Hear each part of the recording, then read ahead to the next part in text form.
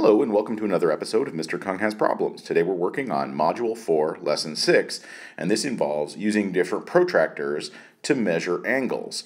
Now, I'm going to give a little preamble to tonight's homework, which is to say this is a little difficult because you guys will be having your paper book and you'll have your physical protractor and you'll be putting your protractor on top of your book to figure out some angles. I have just a screen, and that screen has a copy of your book underneath it, and then has really no great tools for using protractors that I can use on top of it. So I'm going to be making do, and it means that I'm going to have to pinch in and out on my screen a few times, and it will no doubt mean that we make some errors along the way. So I'm not going to re record this a million times to, to get it just right. Um, but with that, let's take a look at a couple of our problems.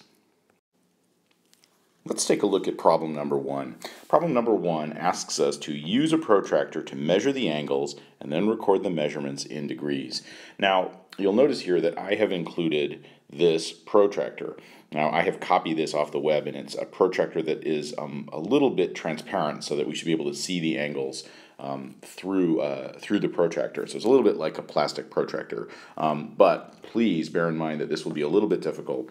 We're going to go ahead and expand out our angles here a little bit. And then I want to use my protractor, which I'm going to spin a little bit around. Put my protractor as close as I can to where this is. Let's see if I can line that up. Ah, there we go. All right, so you can see what I've done here. I've tried to line up the zero line of the protractor with uh, the bottom part of this angle, the angle that starts here and goes up here. And then I just kind of want to look my way up the arc and see it goes 10, 20, 30, 40, 50, 60.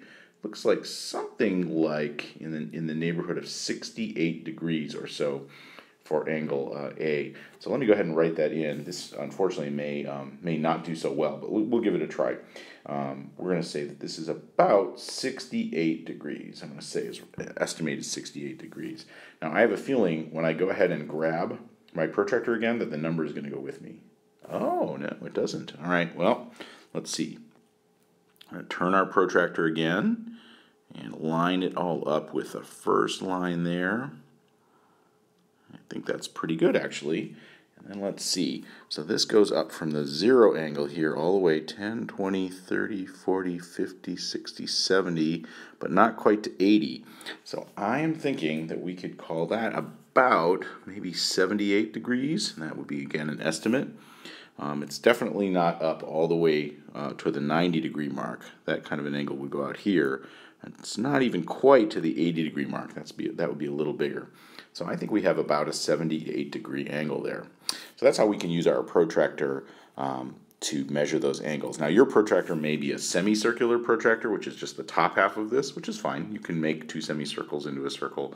The one that I found that was transparent happened to be a 360 degree protractor, so I'm just using that uh, to, to demonstrate here. Okay, let's take a look at one more problem. Let's take a look at number three, and we'll just do one of these two problems. And number three reads, use a protractor to measure each angle. Extend the length of the segments as needed. When you extend these segments, does the angle measure stay the same? Explain how you know. So you can see again over here, I've brought in my trusty protractor, and I'm going to go ahead and expand that out. That's one of the only advantages I have of, of here. And I'm going to expand that out and lay that right on the line. Oops, you can see it's very hard to get it exactly right. It's actually much harder on an iPad than it is on your book at home. There, I think I have it laid just right so that you can see the zero line of the protractor and the AC line segment are exactly the same. And if you look around, it goes all the way up to 90, all the way up to 180, and just a little bit, bit past that. I can't exactly see the hash marks here, but you can see that uh, that it does not go very far into the next 10. So I think a good estimate would be that this is about 183 degrees. It's definitely more than 180, right? We definitely can see that 180 would be up here, and that the B, the AB segment is a little bit below that.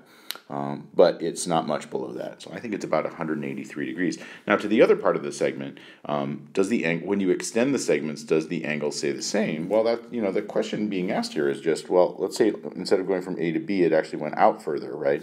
Or let's say from A to C, it actually went out further. Now, as long as we drew these lines perfectly straight, would that have any effect? I mean, could we go ahead and uh, and take our protractor and make it bigger, would that would that have any effect? Hmm, no, not really. I mean, really, no matter how big or small, how long or short those lines are, the angle that they describe is really the same. And so that angle, you know, from the beginning looked like about 183 degrees. And no matter how far out those line segments go, it's going to be 183 degrees. If those went all the way, you know, uh, to Europe for AC and to um, China for AB, uh, it would still be about 183 degrees. So I'm going to let you go ahead and try uh, part B as well as the rest of the homework for tonight. Uh, thanks for sticking with me here on a, a, somewhat more difficult version of Mr. Kung Has Problems where I've had to use this sort of virtual protractor. I appreciate your patience and, uh, and your attention to the visual detail, and I'll see you again next time. Thanks. Bye.